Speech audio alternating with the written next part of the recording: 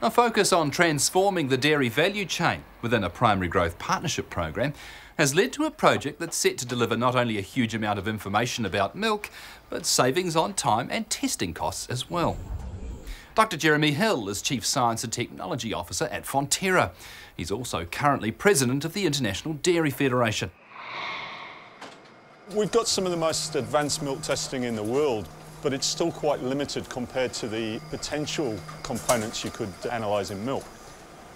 With that information, we have the ability to far better tailor our products that we manufacture and in doing so create more value from that milk. Milk is milk, but you know, there are literally dozens of different types of proteins in milk and actually thousands of different types of milk fat, for example. We started working on this about three or four years ago. It's quite a difficult thing to achieve. And over recent years, we've developed this technology through the Primary Growth Partnership initiative that we have with Dairy NZ and the New Zealand government. Every day, Testing NZ are testing the milk from oh, 13,000 farms.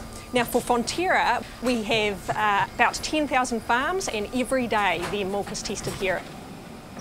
The safety and the quality of our raw milk is absolutely essential for Fonterra, so that's our primary purpose for that testing. So the components that are incredibly important for us obviously are the fat and the protein within the milk. We look at total bacteria. We also check that there's no inhibitory residues in the milk. We look at a variety of tests just to be very clear that that milk is of high microbial and compositional quality. Farmers are getting that suite of core test results back every day because that's helping them to understand the quality of their milk and what they might need to change to continue to produce very high quality milk. There's also other tests that are available to them. For example, if they wanted to better understand the urea concentration in their milk, that sort of thing, they can request those tests themselves. The composition of the milk across the season is, is absolutely fascinating. Uh, I mean, if you're sitting looking at your milk in the morning as you tip it onto your cereal, you think it all looks pretty much the same. But interestingly enough, I mean, there are subtle changes right across the season. We use an RFID tag to mark that sample right at the farm, and then that RFID tag stays with the sample right through this laboratory. So we're very, very confident on our traceability. We've embarked on quite a long-term research project to come out with what we're calling milk fingerprinting. How this works, in essence, is we shine light through the milk and some of that light is absorbed by the milk and the different components in the milk, and some of it is not. You get a picture of it that we're calling a fingerprint. The fingerprint is completely unique to that sample. So while there'll be similarities from day to day on that farm, it is indeed a unique sample and unique fingerprint every day. This is really useful because it gives us a whole new level of information about that milk that we didn't have before and we get it almost instantaneously. We can look at that milk, understand it much better and then use it slightly differently in our processing. We have a really interesting component in our milk that shows up late in the season, particularly if we have a drought. It's an interesting component. It's not a problem for most of our products, but for some of our newer, higher value products, it's a little bit challenging with the processing. So we're monitoring that uh, through the season, particularly late in the season, and the, the test to monitor that, we have a result for every farm within two minutes for that. Now, if we were sending that off to the traditional laboratory, not only would it be costing us literally tens of millions of dollars to get that information, but we would have to wait three days, by which time we've already processed that milk.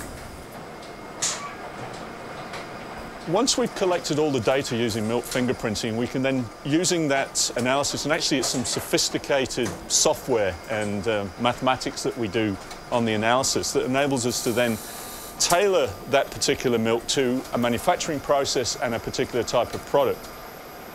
What milk fingerprinting lets us do is to look at the trends over a number of days and then use our dynamic tanker scheduling programs that we, we operate for all of our uh, tanker collections across New Zealand to then go to the farms that are producing those particular characteristics.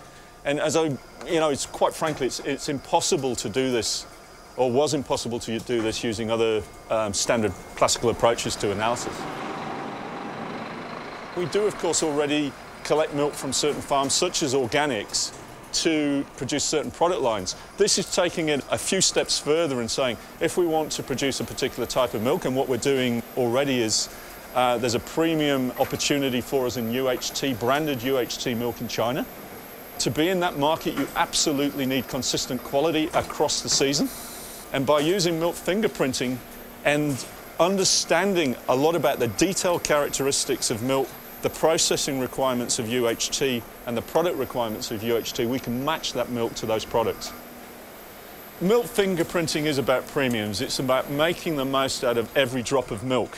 So rather than um, just you know, taking milk that is great for a particular product and then basically averaging that across all different types of products, we can tailor that milk to the product that is best suited to its characteristics.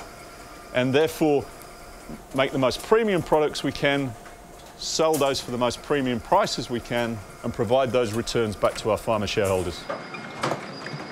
As we get a better understanding of how the milk characteristics change with the farming practices, with the changes that occur on farm, linking those to our processing requirements, linking those to our product requirements, we'll be able to provide information back to the farmers that it'll enable them to optimize potentially the production of that milk to increase the profitability of that milk in their vats.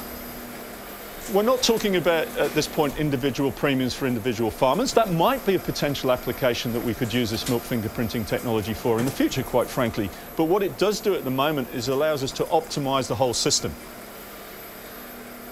I've been in science within Fonterra now for approximately 30 years, and it would be no exaggeration to say this is one of the most game-changing pieces of science and technology I've seen. I think we've been involved in. Um, we're scraping the surface at the moment, quite frankly. The potential of this technology long term is fantastic because what we will be able to do is take the vast amount of information we collect in our processing sites about our processing characteristics, all of the information we collect in market, the information that we're collecting on farm about all of the farming data, and link that through milk fingerprinting technology. So understanding how those fingerprints relate to that processing data, to the product characteristics, and to the farming practices.